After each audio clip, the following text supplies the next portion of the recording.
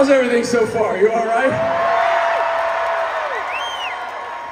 We're gonna call in for a little backup now. Give a nice, warm Las Vegas welcome to Theodore Sablay, Snake Blanton, Miranda Jones, Nikki Egan, and Erica Canales, everybody.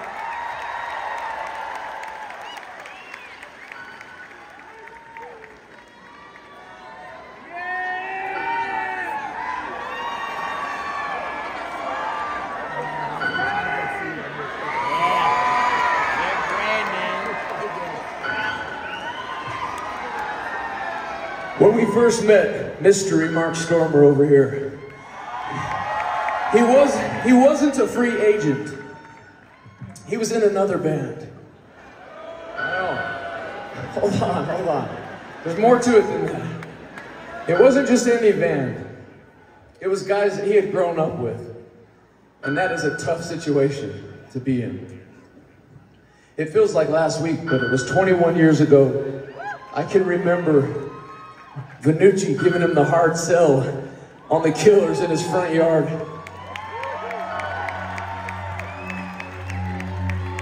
And then Mark did what Mark does. He wait, he waited out. He slept on it. He didn't just jump on the shiny object. And bands need people like that.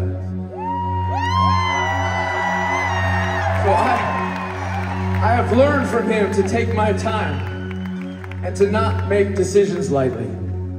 But in the end, he did choose to join us. And we're all the better for it.